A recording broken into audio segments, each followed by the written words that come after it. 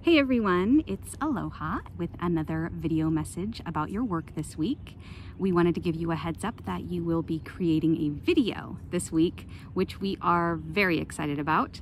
Um, and you can create any type of video that you'd like. You can do a cell phone video like the one that I'm doing right now, or you can do a screencast of something on your computer, or you can do a narrated slideshow, or perhaps a whiteboard style video.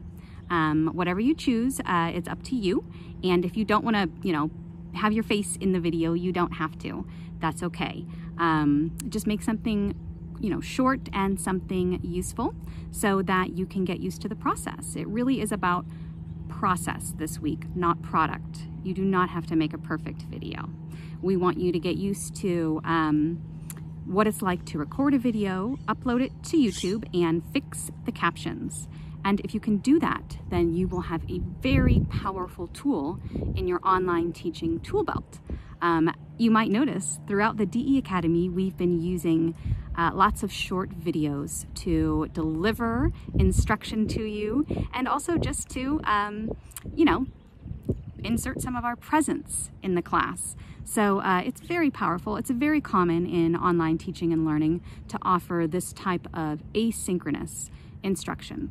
Um, and no matter what mode you choose to teach in, whether it be synchronous, asynchronous, or a blend of both, um, please just keep in mind the opportunity that online learning um, offers your students. So um, really something like this, asynchronous video, uh, would allow students to keep learning even if there is a crisis in their life, um, even if there is a global pandemic, even if they have a job, even if they have children, or they have caregiving duties, or they have a disability, or they live in a crowded house with roommates, all of who are trying to use the internet at the same time.